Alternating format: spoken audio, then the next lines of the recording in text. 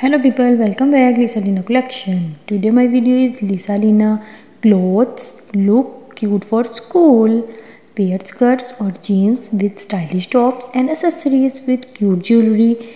Coordinate colors and add a personal touch to express your unique style. Mixing and matching can create cute and trendy outfit that stand out. If you want to make your clothes look cute for school, try mixing and matching different pieces to create unique outfits. You can add accessories like statement earrings or a cute backpack to add some extra style.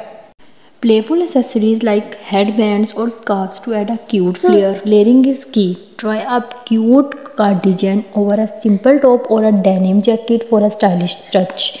Experiment with cute footwear such as stylish sneaker or ankle boots. When it comes to making your clothes look cute for school, you can try incorporating trendy patterns like plaid or floral print. Layering is another great way to add depth to your outfit. Think about pairing a cute cardigan or denim jacket with your favorite tops and accessories. Adding a statement belt, a colorful skirt jean or some cute socks can really elevate your look. If you're new in my channel please subscribe my channel and like my video for my new video. Thank you